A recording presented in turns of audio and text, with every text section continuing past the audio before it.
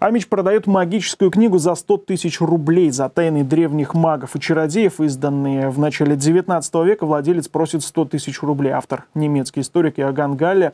Судя по отзывам, книгу можно использовать для проведения разных ритуалов и вызова духов, но по большей части в ней описаны опыты алхимиков.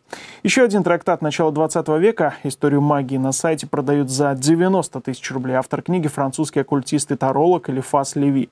Значительно дешевле, за 25 тысяч рублей, продают псалтырь на церковнославянском языке. Столько же просят за Новый Завет, изданный в 1897 году. Ну и замыкает список старинных книг еще одно издание на старославянском. Несмотря на позолоту и теснение, владелец оценил ее всего в 7 тысяч рублей.